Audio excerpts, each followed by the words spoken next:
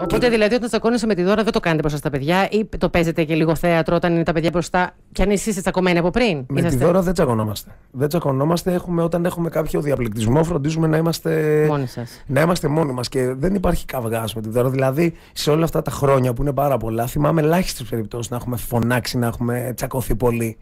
Και όταν έχει συμβεί αυτό, ε, Τώρα, ας πούμε, με τα παιδιά δεν έχει συμβεί τα τελευταία 9 χρόνια κάτι τόσο, τόσο δραματικό που θα πρέπει τα παιδιά να επηρεαστούν. Αλλά μία φορά ε, θυμάμαι που μιλήσαμε έντονα, της μίλησα έντονα, ο μεγάλος μας ο γιος που ήταν στο διπλανό δωμάτιο ήρθε κλαίγοντας και μου λέει, επειδή είναι και λίγο drama king, ο οποίος είναι έτοιμος για δραματική σχολή. δηλαδή τον λέω, τον λέω γκαρσόνι βου, για, από την γκαρσόνα βου από τον Κωνσταντίνο και Λένη που έλεγε. Ε, Σκύλες Μπήκε με τέτοιο στυλ, με τραγική φωνή, σκύλες της λύσης και μην τσακώνεστε. Δεν θέλω να χωρίσετε. Όχι, όχι, στο σπίτι μας αυτά. Και εκεί λέω στη δώρα, το, το παιδί μας λέει είναι λίγο νούμερο, οπότε άστο να μην δημιουργήσουμε ψυχολογικά προβλήματα. Και κάνει σκετσάκια στο σχολείο και μας λυπούνται όλοι.